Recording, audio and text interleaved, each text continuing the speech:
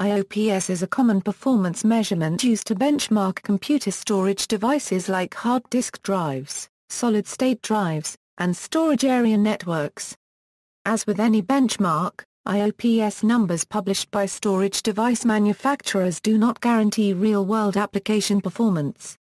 IOPS can be measured with applications, such as Iometer, as well as IOzone and FIO and is primarily used with servers to find the best storage configuration.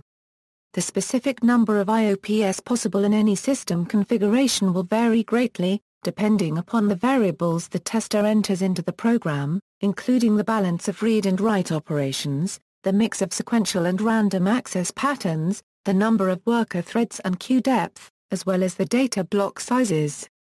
There are other factors which can also affect the IOPS results including the system's setup, storage drivers, OS background operations, etc. Also, when testing SSDs in particular, there are preconditioning considerations that must be taken into account. Performance characteristics The most common performance characteristics measured are sequential and random operations.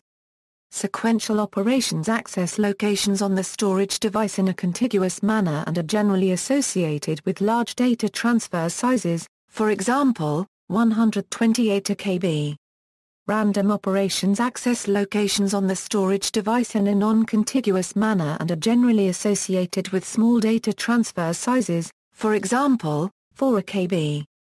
The most common performance characteristics are as follows. For HDDs and similar electromechanical storage devices, the random IOPS numbers are primarily dependent upon the storage device's random seek time, whereas for SSDs and similar solid-state storage devices, the random IOPS numbers are primarily dependent upon the storage device's internal controller and memory interface speeds.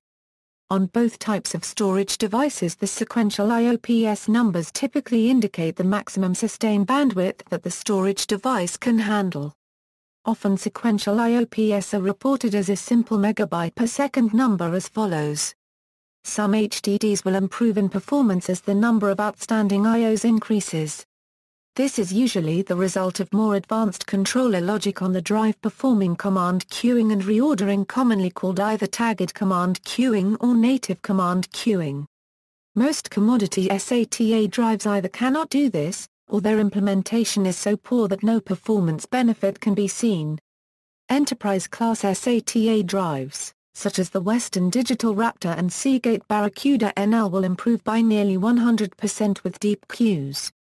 High-end SCSI drives more commonly found in servers, generally show much greater improvement, with the Seagate Savvio exceeding 400 IOPS a year or more than doubling its performance. While traditional HDDs have about the same IOPS for read and write operations, most NAND flash-based SSDs are much slower writing than reading due to the inability to rewrite directly into a previously written location forcing a procedure called garbage collection. This has caused hardware test sites to start to provide independently measured results when testing IOPS performance. Newer flash SSD drives such as the Intel X25E have much higher IOPS than traditional hard disk drives. In a test done by XSSIST, using Iometer, 4 KB random transfers, 70-30 read-write ratio, queue depth 4, the IOPS delivered by the Intel X25E64 GBG1 started around 10,000 IOPS, and dropped sharply after 8 minutes to 4,000 IOPS, and continued to decrease gradually for the next 42 minutes. IOPS vary between 3,000 to 4,000 from around the 50th minutes onwards for the rest of the 8 plus hours test run. Even with the drop in random IOPS after the 50th minute, the X25E still has much higher IOPS compared to traditional hard disk drives. Some SSDs, including the OCZ Revo Drive 3X2 PCIe using the SandForce controller, have shown much higher sustained write performance that more closely matches the read speed. Examples, some Coma Moni accepted averages for random I.O. operations, calculated as 1 slash, seek plus latency, equals IOPS. Solid-state devices, see also, instructions per second, performance per watt, references.